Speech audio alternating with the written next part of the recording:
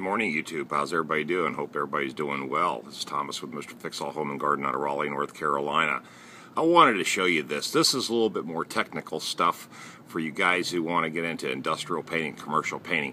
Okay, what I've got here is a thermometer, literally on the gray steel. See, this is what I'm about ready to paint up here. All this gray steel. Okay, and this is the girder system for the framework system for the staircase, okay? So you get the idea.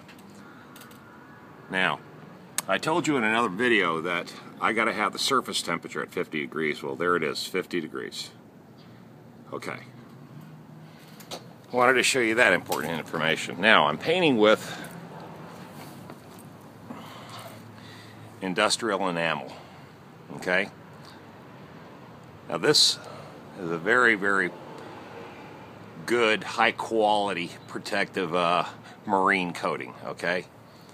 Now you can see the results. I've already started my second coat along this beam, and you can see how it's coming out. It's coming out pretty doggone nice. It's a little thick, a little goopy, but there's my first coat down there. You can see the patches in it. And then as you come up, you can start seeing it paint smooth out on the second run of the roller, okay? So, I got my thermometer attached right there. So I'm watching the temperature of the steel. And also, remember, hey guys, how's everybody doing? Hope everybody's doing well. It's Thomas from Mr. Fix-All Home Garden out of Raleigh, North Carolina. Okay, you got to remember that you got to watch the temperature. When you paint with this stuff, anything below 50 degrees, you're going to have a problem because it's just not going to stick and it'll goop. Okay? So, I also know that I'm in the shade. That's another concern. So when I walk right over here, of course I'm in the dead sun, as you can tell. All right? But let's get back over in the shade. But when you're in the shade, the temperature drops at least 8 degrees, okay? Even 10, depending on your situation. And steel holds the cold, okay? You got to remember that. Cold steel holds holds cold air, okay? It just stays cold to the touch. Uh, I think that's why I call it cold roll steel, okay? Maybe, I don't know.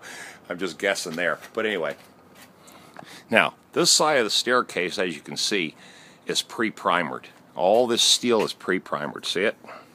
Now, the paint's just blistering off. That's basically all that's happening over here. But then you get the areas where there's corrosion, and then this is corrosion.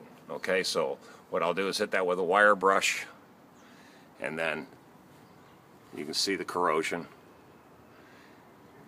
And the rest of the staircase is really not that bad a shape compared to the other side. You see, there's some flaking and peeling See all that right there? And I just, of course, hit that with a, a straight edge blade and just knock that off and then go to painting. But I wanted to show you this video because this is a little bit more technical. When I when I know, I, in fact, tomorrow's Thanksgiving, so I know I've got to work all day today and get it in. The weather is going to be about 56 degrees around 2 o'clock, which is perfect. It's going to be sunshine all day today and tomorrow. So I need to paint and, and, and get going with this project because this is all I got left before I can collect my check is this staircase and that handrail over there. So two items.